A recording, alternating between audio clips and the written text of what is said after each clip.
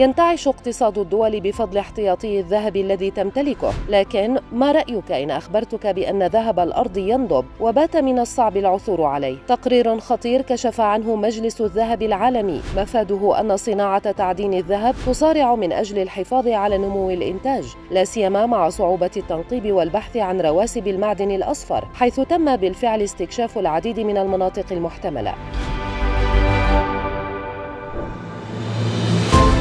يتطلب تعدين الذهب على نطاق واسع رأس مال كبيرا وعمليات استكشاف متطورة وقد يستغرق ما بين عشرة أعوام إلى عشرين عاما قبل أن يصبح المنجم جاهزا للإنتاج وفق مجلس الذهب العالمي.